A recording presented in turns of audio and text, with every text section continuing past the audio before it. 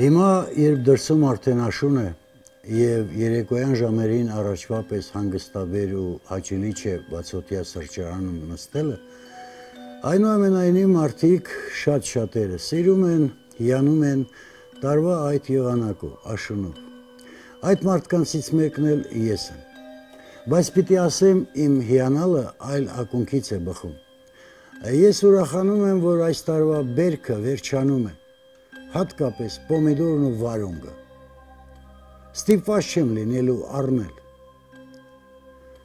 Շիրվանզադեի հայտնի վեպի հերոսին Մարկոս աղա Ալիմյանին հիշում ենք, ով գրպանում ող էր պահում եւ ձու առնելիս օգտագործում էր այդ ողը ձվի մեծը ընտրելու համար։ Ես էլ խոստովանեմ, որ ճարահատյալ ամբողջ համար գրպանից մեջ դանակ եմ մանացել։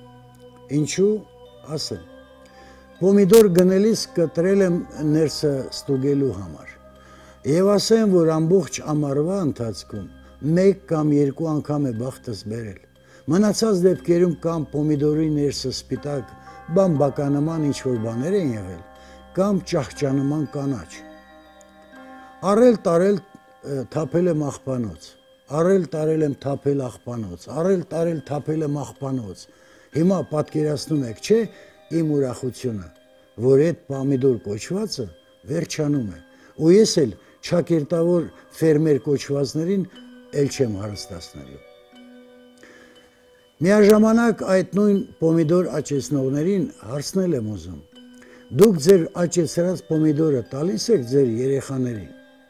Չասեք հա, մեկ է չեմ հավատալու, որովհետև դուք ինձանից լավ գիտեք, որ ձեր աճեցրածը պոմիդոր չէ Չգիտեմ ինչ է, բայց պոմիդոր չէ։ Բնության մեջ չկա այդպիսի բան, երբ պտուղը դրսից հասուն լինի,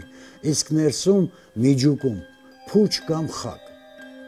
Այստեղ էլ երկրորդ հարցը տամ։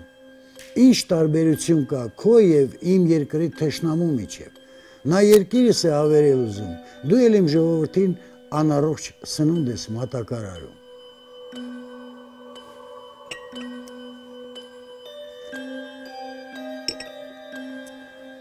Ու գիտեք, ամենաշատն էլ իրենք են գանգատվում։ Քամին բերքս փչացրեց,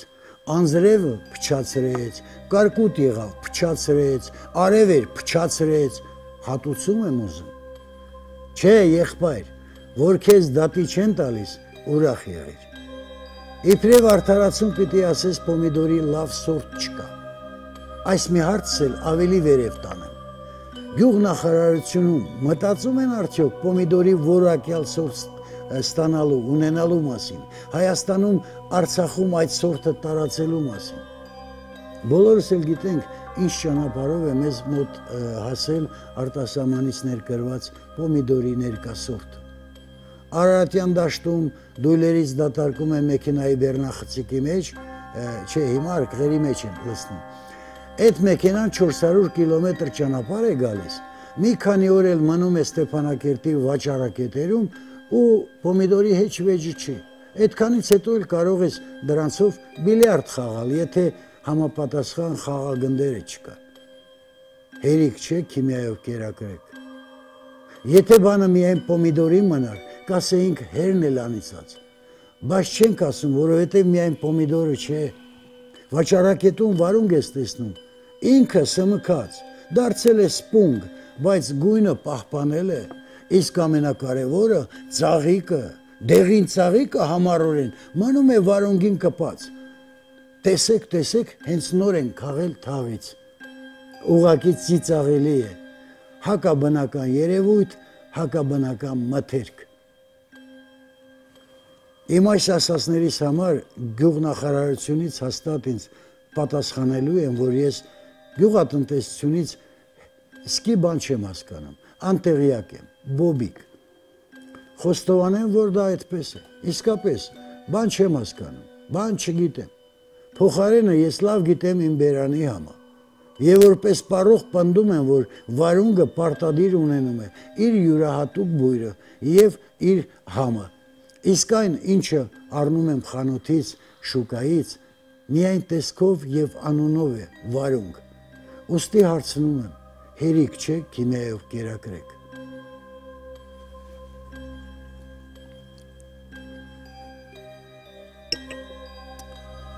Մեռա փնտրելով, բայց ոչ միտեղ չգտա ու չեմ գտնում ուզածս։ Բոլոր սննդատեսակների վրա գրված է. Էգո, էկոլոգիապես մաքուր մթերք։ Մտածում եմ, եթե կա էկոլոգիապես մաքուր մթերք, ուրեմն կա նաև դրա հակառակը, ոչ մաքուրը։ Եվ ես հենց դա ոչ մաքուրն եմ փնտրում, սակայն ոչ միտեղ չկա։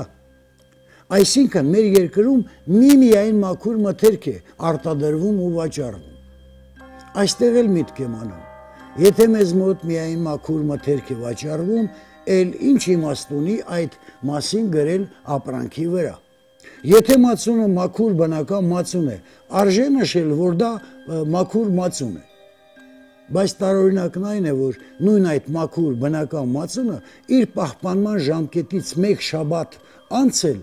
նույն տեսքն է ունենում, չի թթվում։ Էկոլոգիապես մաքուր այդ մածունը չի փչանում։ Հացը օրերով մնում է, չի բորբոսնում։ Կարող է չորանալ, բայց չի բորբոսնում։ Հայ դեպ հացը հավելումով հարստացնելու խնդիրը ինչ լուծում ստացավ Ես իսկապես անտեղյակ եմ։ Նաև չեմ հասկանում այն մարդկանց, ովքեր վիզ դրած ներկա պահին այդ բառն է տեղին։ Ուզում էին իրականացնել այդ գաղափարը։ Ինչից նորմալ երկրները վաղուց ձեռք են քաշել իշահ իրեն ժողովրդի առողջության։ Ասել եմ ու ել եմ ասում, եթե մենք թվականակով լինեինք 1 միլիարդ կամ մի քանի 100 միլիոն, հոգ չէ, Ինչպես որ կարծում եմ, չինացիները այս կարգի հարցեր չեն բարձրաձայնում։ Մեր պարագայում սակայն խնդիրը այլ հնչողություն ունի։ Մենք այնքան քիչ ենք, որ իրավունք չունենք ինքներս մեզ ենթարկելու փորձարարությունների։ Ավելին ասեմ, յուրաքանչյուր հայ մարդու մահ մյուսների կորուստը պիտի լինի։ Այսինքն ապրենք պիտի իրարով, իրար համար, թե չէ իրարից անջատ, մեկուսի, էգո մտածողությամբ մենք հերու գնացողը չենք,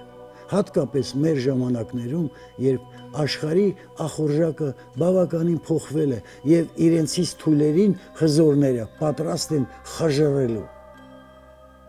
Չարենցի ժամանակներում կարելի էր ասել հերու մոտիկ ընկերներիս, ավաղ անցել են այդ ժամանակները Այսօր կյանքը մեզ ցույց է տալիս, որ մեր մոտիկն ու հերուն էլ ընկեր չեն։ Ոստի Աստծո պատվիրաներից այն, որ ասում է սիրեցեք իրար, կարծում եմ հենց մեզ է հասցեված ու շատ արդիական է հենց մեր օրերում։ Ոստի մեր երկիրը, որպեսզի պատվով պահենք, պահպանենք, այլ ոչ թե ջուր լցնենք մեր ճշնամիների ջրաղացին, Եվ քանի որ մեր գոյության հարցում դու կարևորներից մեկն ես,